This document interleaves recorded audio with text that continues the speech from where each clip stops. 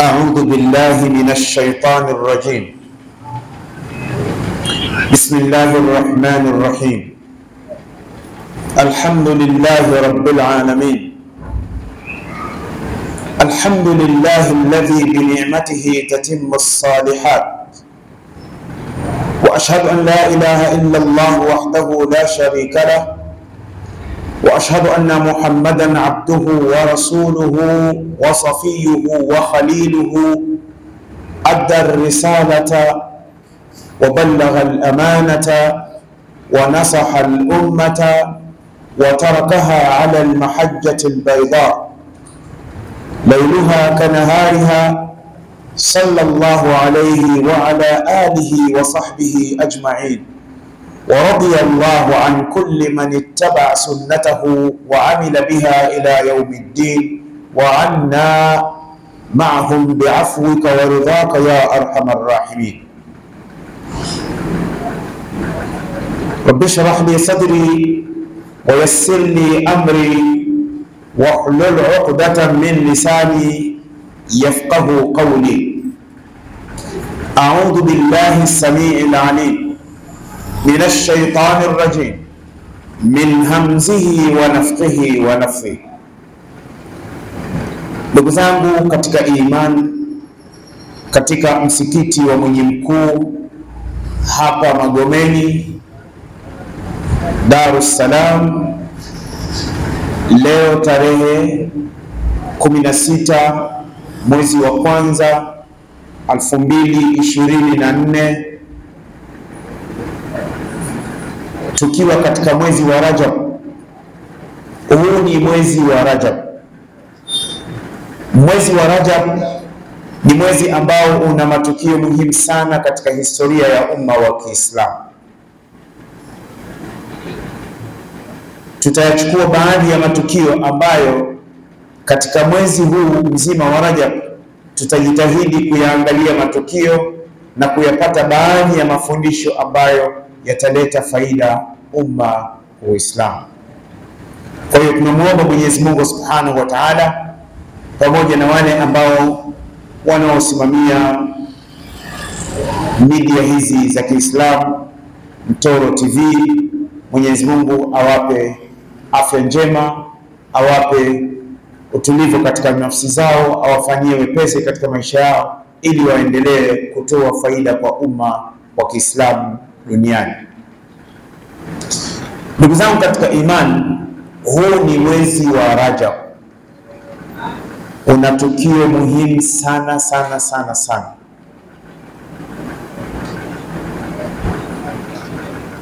Katika mwezi huu wa Rajab ilitokea vita wakati wa Mtume sallallahu alayhi wasallam.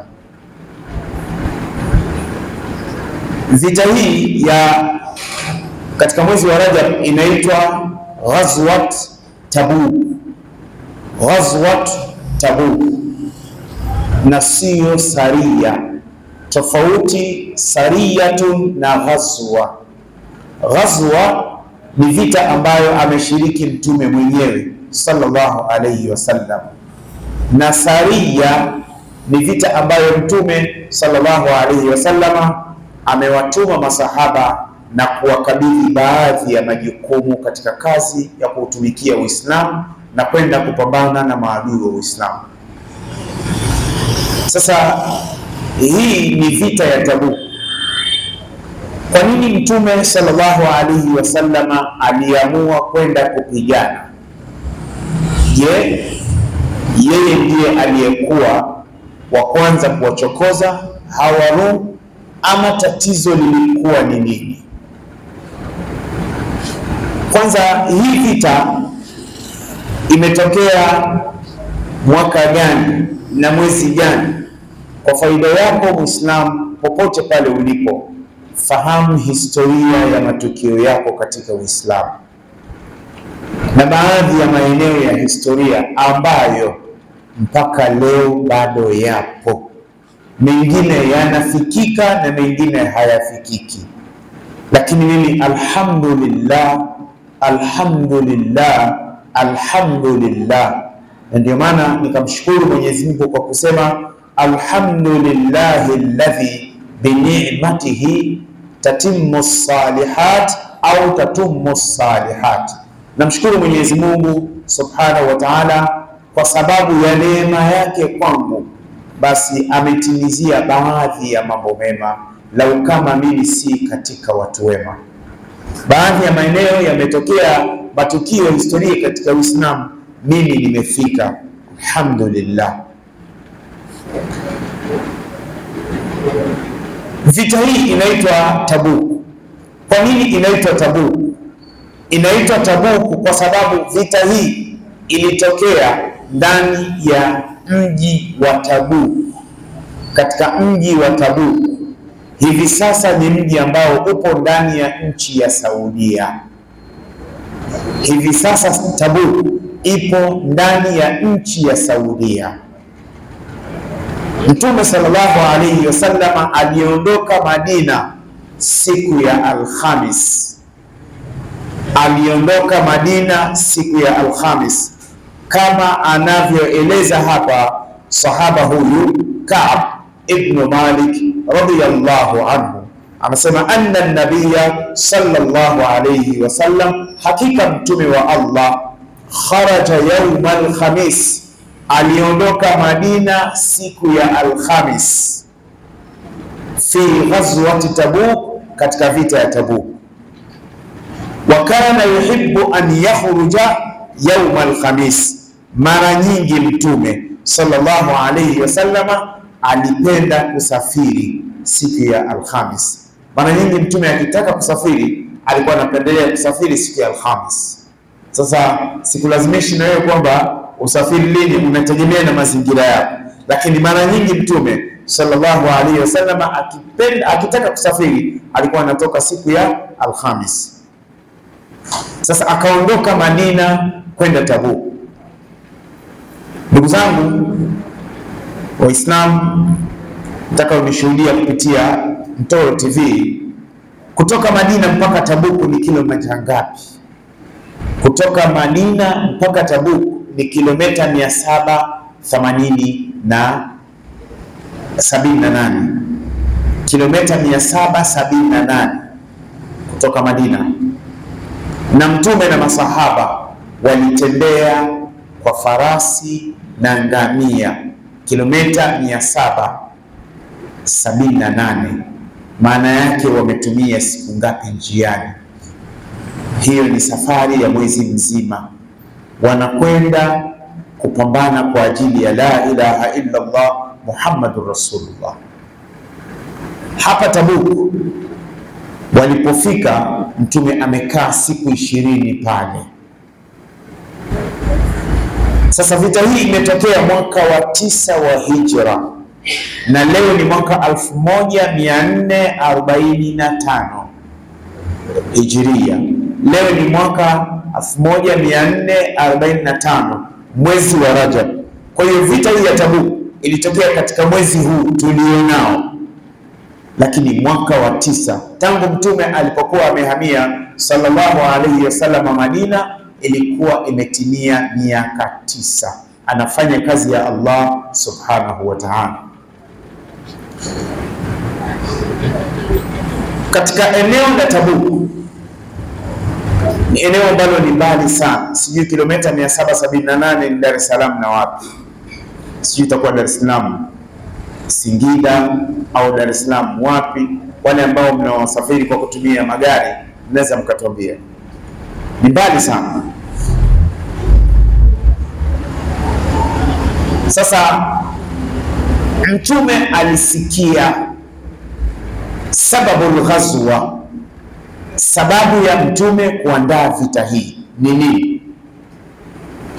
Qala ulamau sira samia rasulullahi sallallahu alayhi wasallam bitajamui rum bisham lighazwati au lighazwi lmuslimina fatawajaha likitali Mtume alipata habari kwamba Warumi ambao ndio hao wazungu, kuna Waroma na Warumi Kwa Kiarabu wa, kwa Kiarabu Warumi ni wazungu, ni wazungu.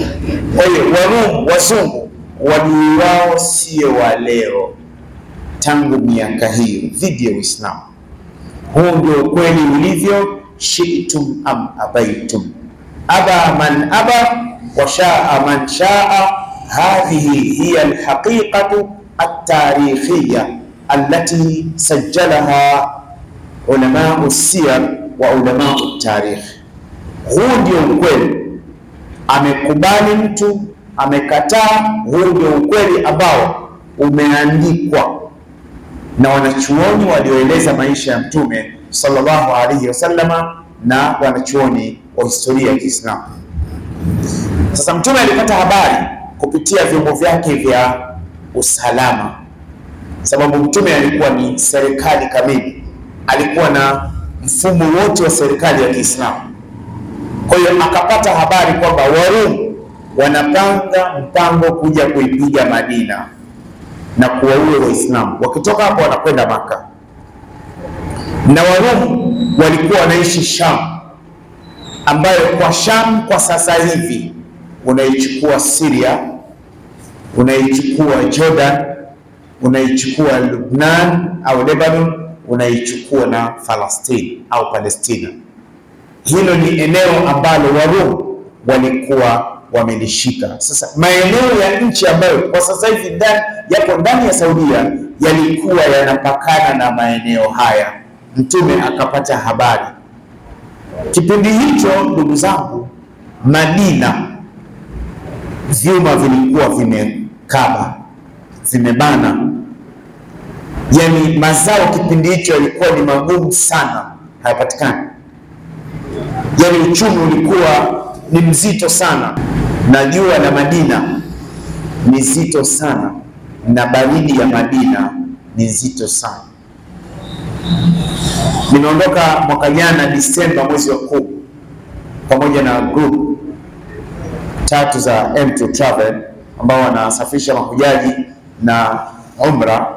Sasa mimi ndio shekhe wao, nimeondoka nao tarehe kumi Disemba nimerudi tarehe kumi na moja Januari 24. Nimeondoka 23 Disemba tarehe kumi nimeondoka, nimerudi tarehe kumi na moja Januari 24.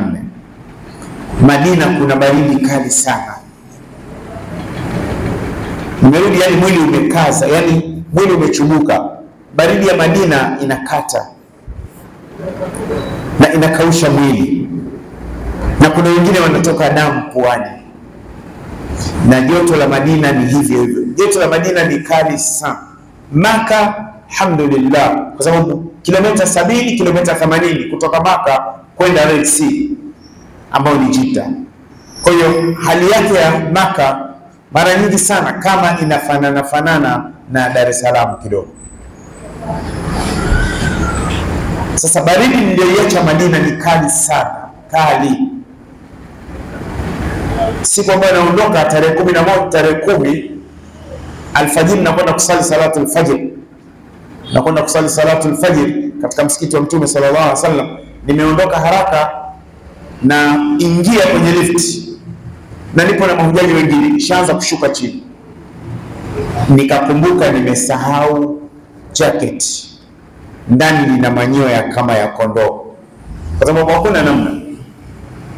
Nafika reception, nilipotoka nje, subhanallah, kama nimemwaiwa maji ya barafu. Nikasema hakuna namna, zimebaki kama dakika sita ikama.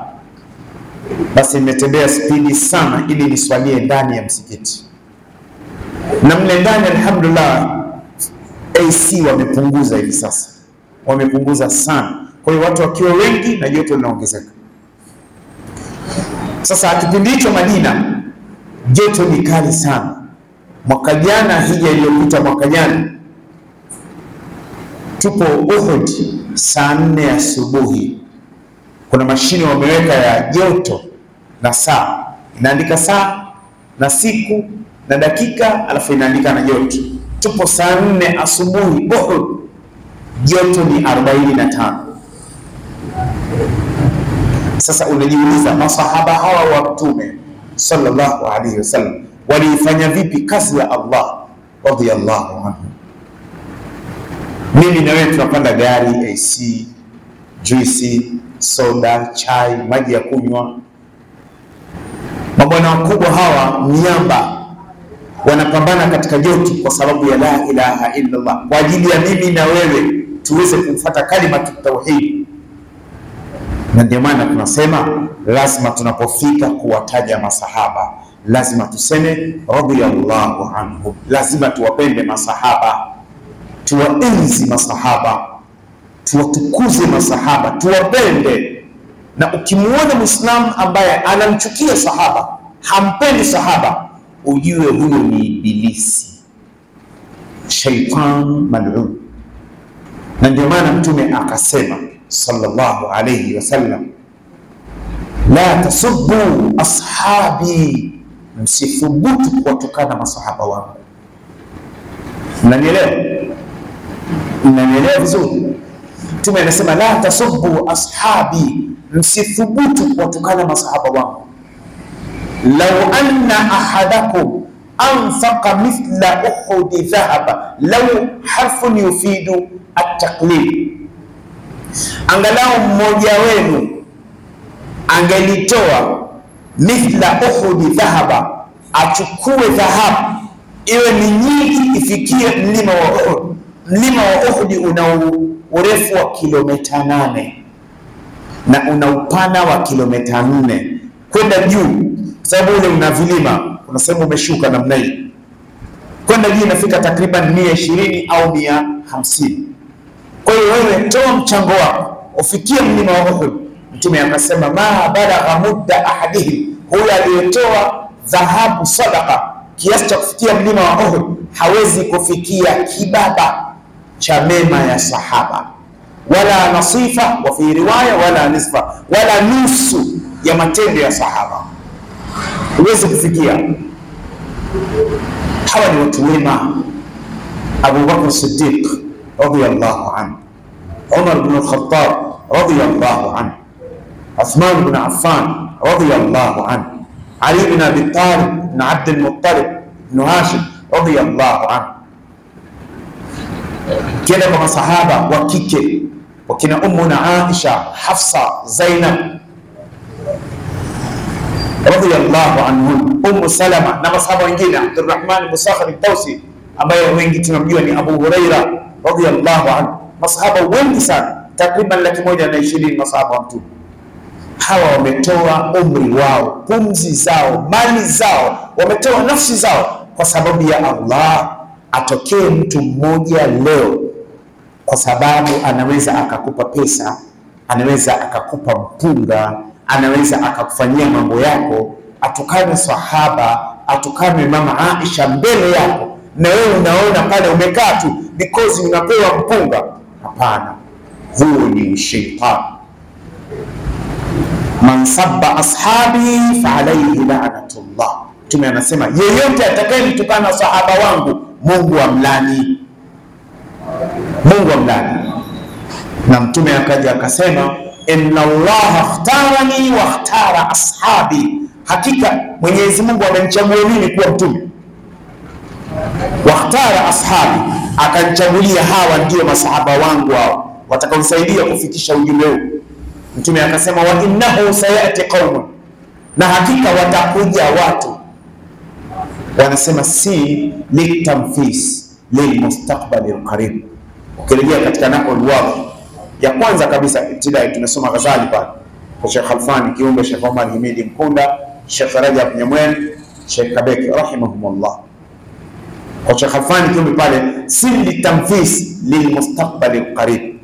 Mtume akasema wa innahu sayati, watakuja watu. Qaumun, watakuja watu yantakisunahum, watawatukana hawa masahaba. Mtume akasema ala litambii, ala sikilizeni, fala tusallu maahum, mkiwaona watu na mkawajua wanawatukana masahaba msiswali nao katika misikiti yao. Mtume akasema ala, sikilizeni, fala tusallu alaihim, msiswalie maiti zao. Ala, sikilizeni, fala tunakihuhum, hili jitu ni ibilisi inayetokana masahaba, msiozeshe mabinti zenu wala ninyi msioe kwa. Mwishoni Mtume akasema alaihim hallat lanatullah, Mungu awalani wote wanaowatukana masahaba.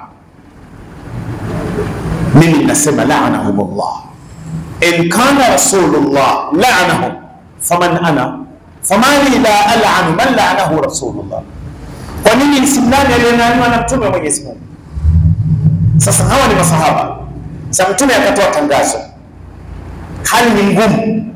Chukua mfano, tunataka kufanya jambo la kheri, sawa? Tunaona kwa mfano mwenye mkuu, kuna ukarabati hapa, sawa? Kwa mfano inatokea sasa, jamani, tuchangie jambo fulani.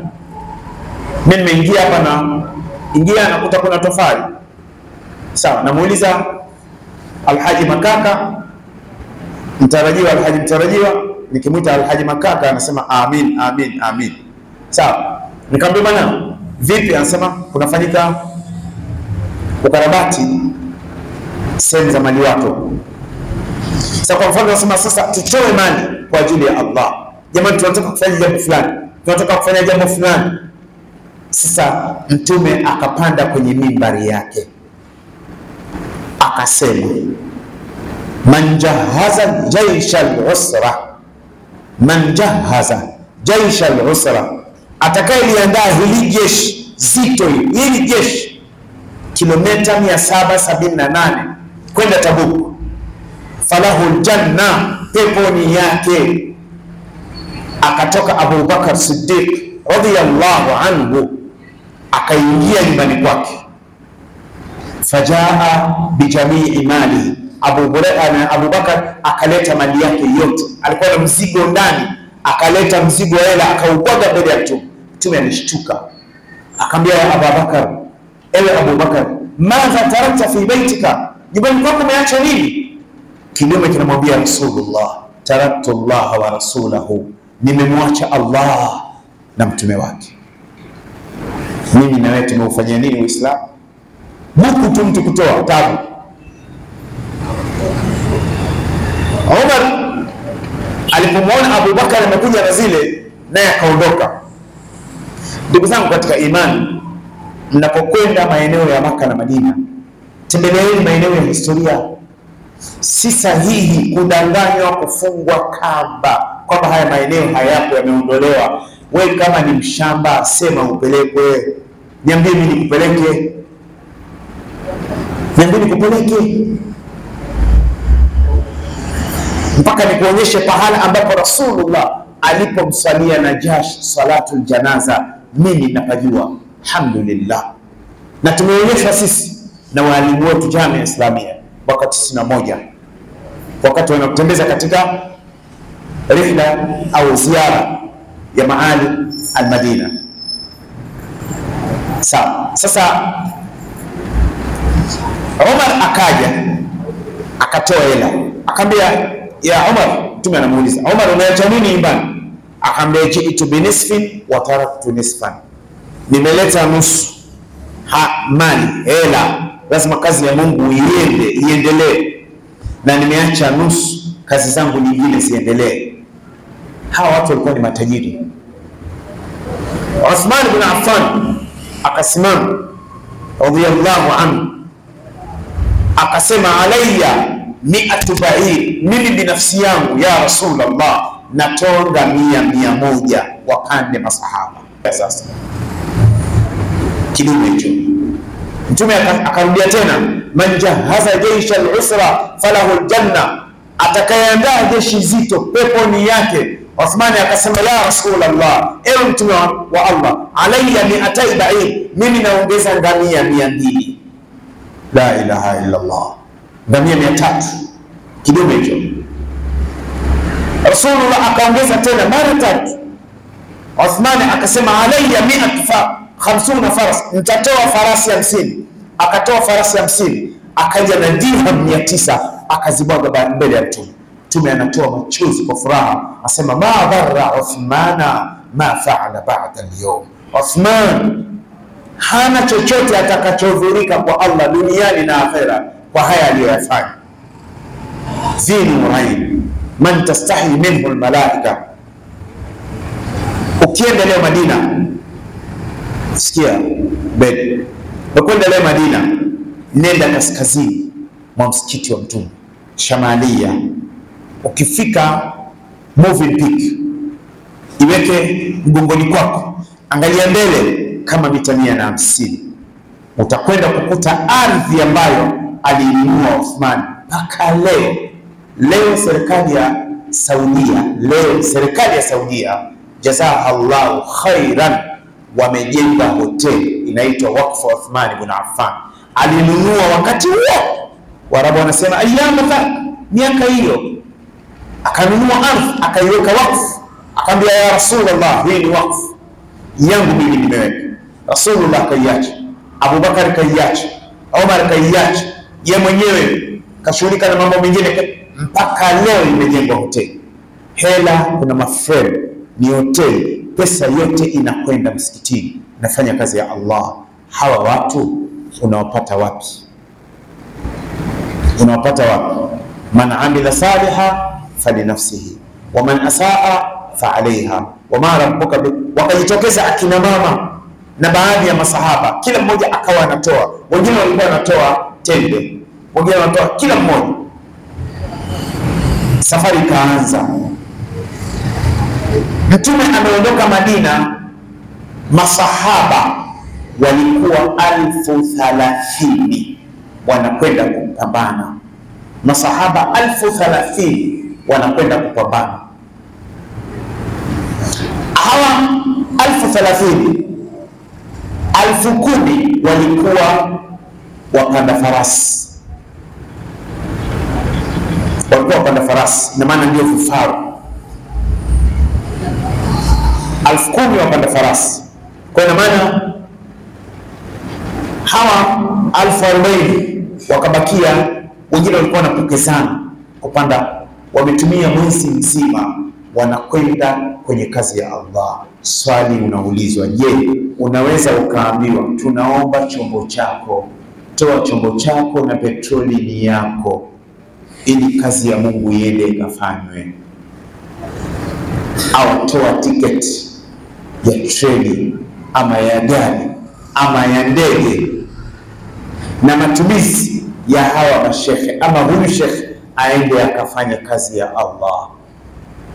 Ama mwangalie huyu mwalimu wa Qur'an, ama waangalie huyu maimamu, ama waangalie hawa watu wanaofanya kazi ya Allah, wanaofanya usafi misikitini, wanaosimamia kazi za Allah, waangalie. Tunaweza sisi?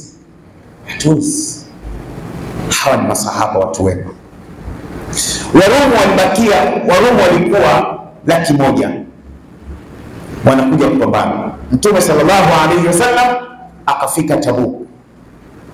Qala ulamau sira bakiya nabiyu sallallahu alayhi wasallam fi Tabuk, mtume alibakia Tabuk ishirina yauman, kwa muda wa siku ishirini.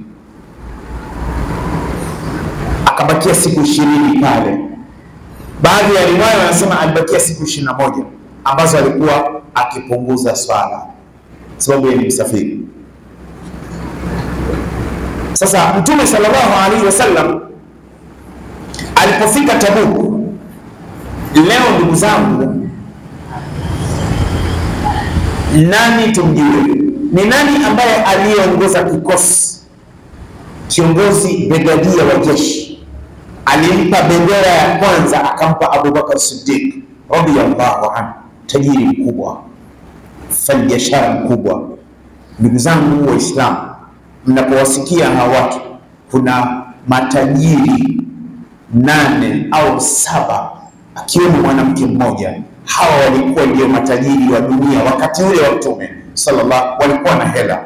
Wa kwanza Abubakar Siddiq radhiyallahu anhu, wa pili Umar ibn Khattab radhiyallahu anhu, wa tatu Uthman ibn Affan radhiyallahu anhu, wa nne Abdurrahman ibn Auf radhiyallahu anhu, wa tano Sa'd ibn Abi Waqqas radhiyallahu anhu. Wa sita Talha bin Ubaidillah radhiyallahu anhu. Huyu Talha wa sita Mtume alikuwa anamwita Fayyad, Fayyad, mzee wa kumimina, mzee wa kumwaga. Akisikia tu Rasulullah anazungumzia habari ya kazi ya Allah inahitajika hela, anamwaga mzee. Mtume akamwita Fayyad, mzee wa kumimina. Wa saba Zubair ibn al-Awwam radiyallahu anhu. Wa nane mama Khadija binti Khuwailid radiyallahu anha, ambaye ni mkewe Mtume, ambaye amefia Maka kabla Mtume hajahama. Na amezikwa sehemu moja inaitwa Miilat. Miilat katika eneo la hajum. Na ndio kuna makaburi yanaitwa, wengine wanasema makbaratu Maalat au Miilat, na kaburi lake liko pale radiyallahu anha, na kuna mti pale wa mkunazi alipozikwa mama Khadija, Allahu a'lam, mti ule kuna siri gani? Nakumbuka mwaka tisini na moja mara ya kwanza mimi naingia Makka kwenda kufanya umra, tumepelekwa na walimu wetu. Mwaka tisini na moja baada ya kuwa tumefikishwa chuoni, tukaletwa Maka kuja kufanya umra na kutembeza maeneo ya historia na kuonyeshwa na walimu wetu. Tumeukuta mti pale kwa kaburi la Bi Khadija mwaka tisini na moja mwezi wa tisa, mkunazi ule mti mpaka leo upo haukauki. Allahu aalam, kuna siri gani? Na kaburi la mama Khadija limetengwa pahala ambapo wamezikwa masahaba, ile sehemu pale Milat hakuna kaburi, waliosalia wengine wanazikwa hapa chini, radhiallahu anhu. Sasa hao ndio matajiri, walikuwa na hela. Sasa Mtume akamchukua Abubakar akampa bendera. Qala ulamau sira a'ta liwaa al-a'zama ila Abi Bakr as-Siddiq, Mtume alimpa bendera ya kikosi kikubwa, akampa Abubakar kwamba utaongoza jeshi la watu alfu thalathini kwenda kuwapambana na Warumi. Tajiri mfanya biashara, anaacha kazi zake, anasimama na Allah, anasimama na Rasulullah sallallahu alayhi wasallam. Leo kesho Leo kesho umekwenda Maka, tukikutana Maka niambie nikuonyeshe nyumbani kwake Abubakari ni wapi, lakini kwa kusaidia tu, nenda Maka, msikiti wa Maka, angalia namba 88, 84, 85, ziweke zile namba, msikiti uweke mgongoni kwako, angalia mbele yako, utakuta kuna sehemu ambazo ngazi zile za umeme zina zipo za kutembea kwa miguu na zipo zile ngazi za umeme zinatembea. Utawakuta kwenye ngazi za, za kukaa watu wamekaa pale, wavuta fegi wengi utawakuta wamekaa pale. Yaani katika watu ambao wana matatizo ya akili ni wavuta fegi. Hivi Alkaba iko pale inapiga fegi, uko sawa? Uko sawa sawa? Akili yako iko sawa sawa? Ndugu zangu, Alkaba ipo pale, nyumba ya kwanza ya Allah, nyumba tukufu. Iko pale. Wewe unapiga feki hapa, una haya? Na ndio kama sisi misikitini mwetu, upo ndani ya msikiti, simu inaita na simu zetu nyingine zina miziki. Hatari. Siku moja nimeswali msikiti mmoja Magomeni, msikiti mmoja Magomeni, msikiti mmoja Magomeni, msikiti mmoja Magomeni. Magharibi, nipo nyuma ya mtu. Simu yake inaita kimasomaso mwanangu, kimasomaso mwanangu, simu inaita.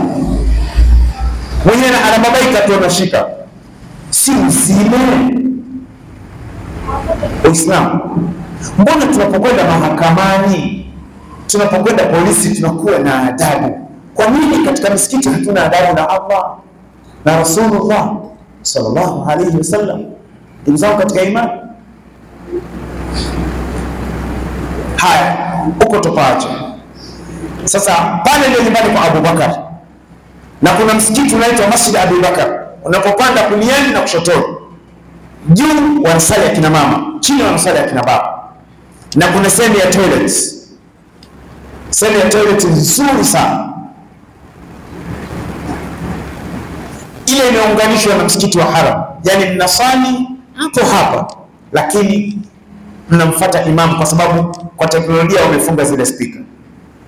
Sasa Abubakar akapewa bendera, bendera nyingine akapewa Zubair ibn al-Awwam Zubair ibn al-Awwam radhiyallahu anhu. Huko ni upande wa Muhajirin na Maka. Mtume akachagua upande wa Aus, akampa sahaba mmoja anaitwa Usaid ibn Hudayr. Usaid ibn Hudayr akaambia, shika wewe, unawakilisha Ansari wa Madina. Bendera nyingine ya nne upande wa Khazraj akampa Abu Dujana, Abu Dujana radhiyallahu anhu. Kisha akatoa taarifa kila koo katika koo za Kiansar na wao wawe na kikosi, wakaelekea Tabuk kwenda kufanya kazi ya Allah subhanahu wa ta'ala. Sasa pale Mtume sallallahu alaihi wasallam amekaa siku ishirini. Ukienda pale Tabuku, ndugu zangu, kuna msikiti unaitwa Masjidu Tauba, una rangi nyeupe, una mnara mmoja kama vile Taif. Mimi alhamdulillah nimefika Badr, Badr nimefika. Alhamdulillah. Pale ilipotokea ile vita ya Badr nimekwenda.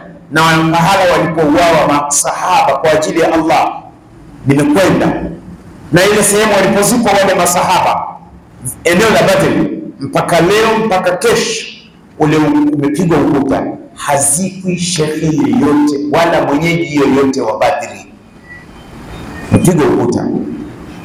Na nimefika pahala ambapo mtume alipokaa Arish, serikali ya Saudia wamejenga msikiti unaitwa Masjidu Arish msikiti wa kisasa. Sasa hii sehemu nimefika. Sasa hapa Tabuk, huu msikiti unaitwa Masjidu Tauba. Huu msikiti upo karibu sehemu na qal'a, qal'atul baraka. Qal'atul baraka au qal'at Tabuk ni ukuta umejengwa kwa tofali. Ukiingia kuliani kwako katika ule mlango ule mlango una kama bamba la jekundu. Kuliani kwako kuna bango ambalo limeandika historia ya Tabuk. Haya ni maeneo ambayo na sehemu ambapo kuna makaburi ama sehemu ya kala imepigwa ukuta, yani zamani za, yani ni ardhi ya zamani zamani zamani sana. Sasa haya ni maeneo ndugu zangu, inabidi twende. Tulipokwenda Badri tukaona pahala ambapo malaika walipotokea kuja kuleta msaada kwa Uislamu siku ya vita ya Badri. Na safari nilipokuwa natoka Madina, ndiondokea Jidda, nimechukua taksi kutoka Madina mpaka Jidda, kilomita mia nne karibuni na sitini. Nimechukua njia ya Badri, sio njia ya kawaida ya Maka, njia ya Badri, ambapo ndugu zangu, serikali njiani maeneo yenye historia wameweka alama. Tatizo ni kwamba sisi hatujui. Chukua mfano, ukienda pale Maka, nani anajua nyumba ya Bibi Khadija ilikuwa wapi? Miaka ya themanini mpaka kuja tisini na moja nafanya hija yangu ya kwanza kama mwanafunzi Maka, nyumbani kwa Bibi Khadija kulikuwa kuna yale magofu, ukuta ule upo katika upanuzi wa msikiti. Hivi sasa yale magofu yako chini underground, ambapo kuna baridi kali. Wakati wa saa inapokuwa watu ni wengi sana, huwa wanakwenda kule, lakini kuna baridi kali mno mno mno, na wamefanya kusudi tu kuweka baridi kali, kwa sababu watu walikuwa wanakwenda kwenye yale magofu iliyokuwa nyumba ya Bi Khadija, wanakwenda kuchukua udongo, wanaondoka nao, sijui wanapeleka wapi. Kama pale Baqi Baqi, subhanallah, siku moja mtu amekutwa na chupa kajaza udongo kwenye makaburi pale, anaondoka na udongo uko kwenye chupa Baqi. Hivi ukiondoka na udongo wa makaburi, watu wanakuona, watakuta nani? Mchawi? Mwanga? Mwanga na mtaalamu eh? Shekhe wa kamati anasema ataitwa mtaalamu, maanake unawafanya watu wakudhania vibaya. Kuna methali ya Kiswahili inasema, unajua Bedi, methali inasemaje? Sikiliza vizuri. kumdhania mtu vibaya ni vibaya, lakini na wewe kusababisha watu wakudhanie vibaya ni vibaya. Imeenda hiyo, imeenda ienda hiyo, imeenda hiyo. Kumdhania vibaya mtu ni vibaya, lakini na wewe sasa unayedhaniwa vibaya, kujenga mazingira ya kudhaniwa vibaya ni vibaya. Imeenda ienda hiyo, imeenda hiyo. Sasa wewe upo makaburini, kwa mfano pale Kisutu ama makaburi yote, watu wanakuona unachukua mti pale kaburini au majani ya kaburini unaweka mfukoni mwako unaondoka naye, watu wako ndani hivi. Jamani, sema mtaalamu au wanaitwa watu wa IT Afrika, watu wa IT. Sasa nyumba ya Bi Khadija, ndugu zangu, kutoka pale kwa Bi Khadija kwenda nyumbani kwa Mtume sallallahu alaihi wasallam ni kama hapa nilipo mimi, na unakwenda unakata kona hapa. Kuna hii madrasa inaitwa madrasa gani? na madrasa tu shabab, kutoka kwa Bi Khadija mpaka nyumbani kwa alipozaliwa Mtume sallallahu alaihi wasallam ni karibu na madrasa tu shabab hapa. Ukitoka hapo ndio unashuka bondeni kwa Dula. Sasa ukiwa sehemu ambapo ilipoanguka lile crane ile 2015 ilipotokea tukio, chini kuna gofu la nyumba ya Bibi Khadija. Chini, lakini siku hizi wamefunga. Mpaka juzi nilipokuwa nawaambia baadhi ya mahujaji kule chini wamefunga, lakini nyumbani kwa Mtume sallallahu alaihi wasallam mpaka kesho ile sehemu ipo na nyumba inaonekana, lakini mpaka naondoka juzi wamezungusha viti, yani mnabakia mnaiona nyumba kama ile pale, nachukua picha, wengine wanachukua video, wengine wanachukua selfie, unaona. Na tatizo ni kwamba pale nyumbani kwa Mtume watu walikuwa wakifika pale wanaandika status zao, ya Rasulullah, mimi fulani mimi fulani. Kuna mwingine unamkuta ameushika ule ukuta analia, na kuna wengine walikuwa wanachukua ule ukuta ambao umekotuka kotuka, yani unamwona mtu anachukua anatazama kulia, anatazama kushoto, akiona mtu amwangalia anaweka kwenye tishu yake anaondoka. Sasa unajiuliza unapeleka wapi? Sasa hatimaye wamezungusha hivi, lakini nyumba inaonekana.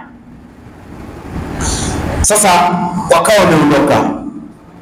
Sasa Mtume sallallahu alaihi wasallam akawa baada ya kuwa walio kugundua kwamba hawa Waislamu wamekuja hatuwawezi, wakaamua kurudi nyuma, wakaamua kurudi nyuma na hatimaye Waislamu wakawa wameshinda. Hawa ni masahaba ambao walitoa mali zao kilomita mia saba sabini na nane Madina Tabuk, kilomita mia nne arobaini Maka Madina, kilomita mia moja sitini Madina kwenda Khaibar kilomita mia moja hamsini na tano Madina Badri, kilomita mia tatu kumi na tatu Maka kwenda Badri, kilomita tisini na tisa kwenda na kurudi Taif. Na bahati nzuri tena safari imefika Taif, pahala ambapo Rasulullah alipopigwa mawe, pahala ambapo Abdas alipompelekea tunda. Haya maeneo yote yapo yapo, na kuna pahala ambapo Abdullah bin, uh, bin Abbas ndipo alipozikwa radhiyallahu, umepigwa ukuta, umepigwa ukuta na mle ndani kuna miti mingi sana, kuna majani mengi, lakini mkisimama karibu kaburi unakuwa unaliona, lakini kama ukuangalia kwa makini huwezi kuliona. Lakini pana msikiti mkubwa sana sana sana. Maeneo yote haya yapo, ndugu zangu. Hebu fikiria, Mtume alipokuwa anatoka Taif baada ya kupigwa mawe, alifika pahala. Ikawa milima miwili ikamuomba, kaambia hawa, tuambie sisi tuwaangamize. Mtume akasema hawa hawa. Sasa hili ni tukio ambalo limetokea mwezi huu wa Rajab mwaka wa tisa wa Hijra, leo ni mwaka 1445. Kwa hiyo insha Allah mwezi huu wote wa Rajab tutakuwa na matukio ya historia. Tukitoka hapa Inshallah, wiki ijayo tutakuwa na tukio lingine tuweze kupata faida, tuwakumbushe Waislamu kwa sababu Waislamu wameshughulishwa sana historia ya wachezaji, usajili. Leo imefika pahala namkuta mtu mzima na anazungumza mishipa imemparama kama vile anapigwa nini, yani kama amepigwa na shoti ya umeme fulani fulani fulani, hao wote hawa ondoa, hawajui kufunga magoli, tumesajili vichwa, tumesajili. Natazama mtu mzima yani, na katika watu ambao sijui tumerogwa na nani, ni sisi Waislamu. Tuna matatizo, Mwenyezi Mungu atuongoze. Kwa hiyo hii ni vita ya Tabuk. Kwa hiyo tunasema vita ya Tabuk imetokea wapi? Katika mji wa Tabuk, ambao Tabuk hivi sasa ipo ndani ya nchi gani? Ndani ya Saudia. Kutoka Madina kwenda Tabuk kilomita ngapi? Kilomita 778. Masahaba walikuwa wangapi kwenda kupigana? Walikuwa elfu 30. Waliopanda farasi ni wangapi? elfu 30. Na waliopanda wengine walikuwa elfu kumi. Kwa hiyo maana jumla walikuwa haya, Warumu walikuwa laki moja. Mtume amekaa Tabuku siku ngapi? Siku ishirini. Aliyekuwa kiongozi wa jeshi lote ni nani? Abubakar Siddiq radhiyallahu anhu. Aliyefuatia Zubair ibn al-Awwam, aliyefuatia Usaid ibn Hudayr, aliyefuatia Abu Dujana. Hii ni historia ambayo nilitaka nikukumbusheni. Lazima Waislamu tujitambue na tujue watu wetu wema, tuwapende, tuwaenzi. Jana nilikuwa shuleni kwangu pale Mkwajuni darasani, nikachukua buku darasani, nikasema buku hii natangaza, nitajieni mwanamke aliyekuwa anafanya usafi katika msikiti wa Mtume. Alikuwa anafanya kazi ya usafi, kufagia wale watoto wote darasa zima, zero hamjui, lakini ningemtaja star ungemjua. Buku nayo nikaweka mfukoni. Sasa lazima tuwajue watu wema, tuwajue watu wema. Na kwa nini tunakwenda katika hizi sehemu za historia? Sawa, tunakwenda katika kwa nini? Kwa mfano mimi nimeshakwenda Masjid al-Aqsa Palestina, mara ya mwisho nimerudi mwaka jana mwezi wa kumi. Inatokea mlipuko wa vita hasa tarehe saba, mimi tarehe sita nishasepa niko Jordan, na yule gaida wetu alituambia, jamani, hali si nzuri, ondokeni. Na ilikuwa ni sababu Mayahudi, kwa taarifa yenu, mwaka huu 2024 sio mwaka wao, wana mwaka wao. Mwaka wao wao unaishia Oktoba, wana miezi yao. Sisi tu ndio tunafungwa kamba, sio? Mmenielewa? Mmenielewa? Mmenielewa? Na vile vijikofia vyeusi vipana wanapovaa wao wana imani zao, lakini nyie mnavaa tu, na wana zile ambazo huwa zinaning'inia, sawa. Na wao ukienda pale Aqsa, Mayahudi hawaelekei katika msikiti wa Aqsa, wana kibla, wana upande wao wanaelekea. Na ukitaka kuwaona vizuri namna gani wanafanya ibada yao, unasimama katika msikiti wa Umar bin Khattab, unawaona kwa chini sasa haya ni maeneo ambayo yote tumefika. Marbatu naqa, pale ambapo mtume alipomfunga Buraq, mimi nimefika, alhamdulillah. Pale ambapo Rasulullah aliposimama na Jibril, wanaanza safari sasa kwenda mbinguni, mimi nimefika. Maqbaratu rahma au babu rahma, pale ambapo wamezikwa masahaba wawili, Ubada bin Samit na Shaddad bin Aus radhiyallahu anhuma, na makaburi yao yapo haijafutwa kabisa na majina yanaandikwa pale. Mayahudi hawagusi kabisa. Masjidi Suleiman, mihrabu Zakaria ipo ndani ya Masjid Aqsa. Mimi nimefika mara mbili. Kullama dakhala alaiha Zakaria almihrab wajada indaha rizqa, ile mihrabu ya Zakaria ipo.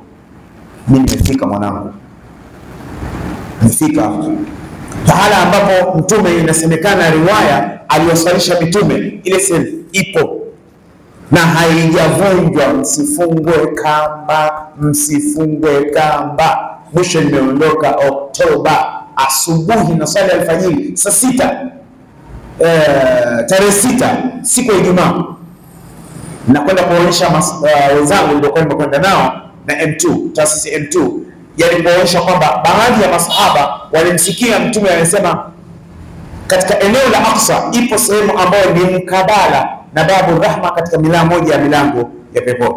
Sawa, umefika ile eneo pale.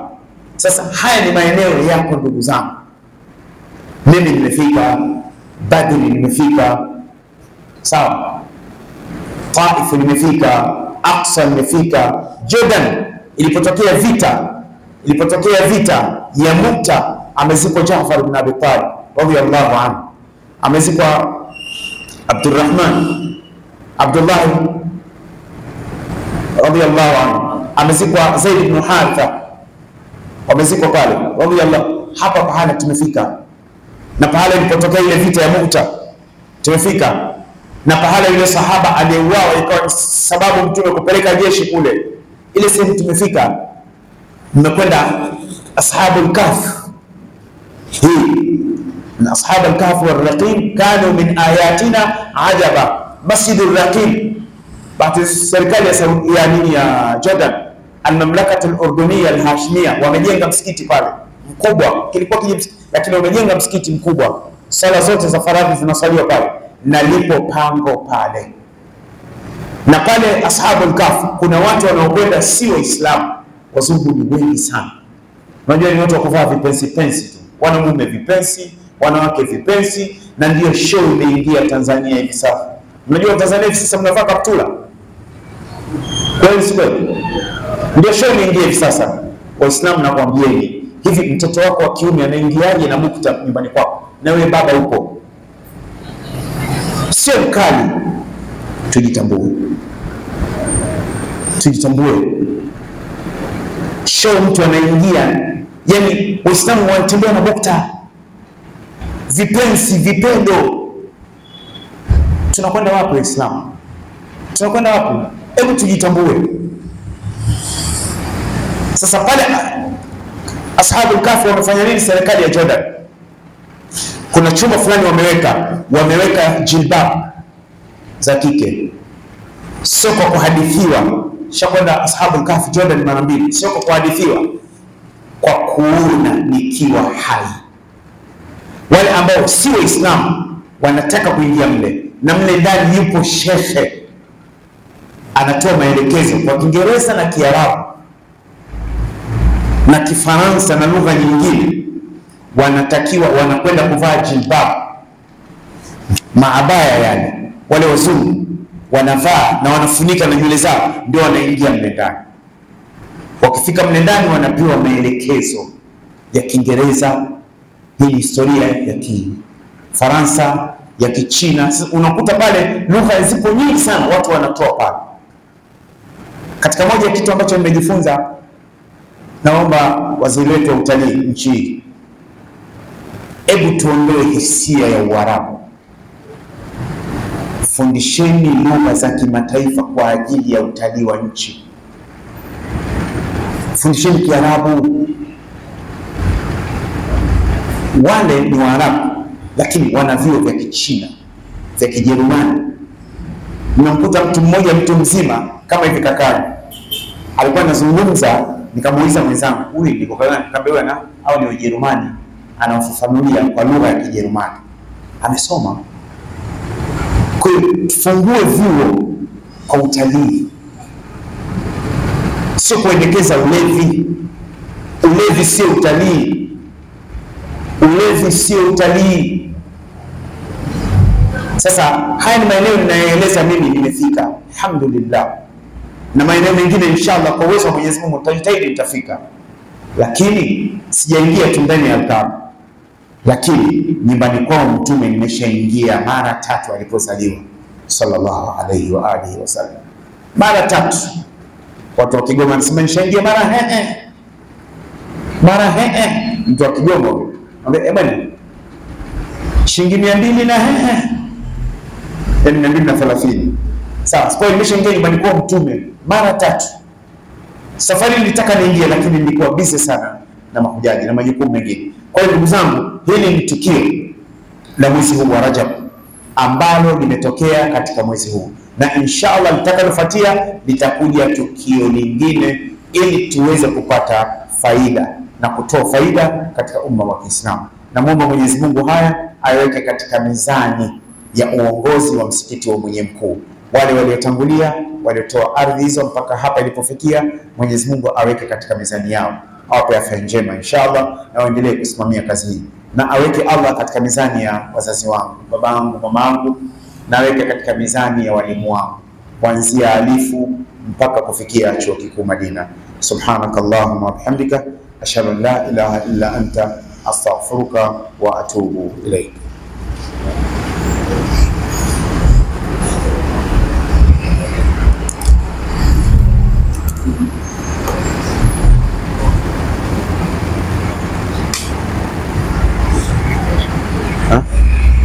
Hebu tuadhini kwanza, amna kuendelea kesho kesho, au unataka niadhini? Hmm? Niadhini? Nenda kaadhini, au ngoja niadhini bwana, fungulie au niadhini? Ngoja niadhini bwana.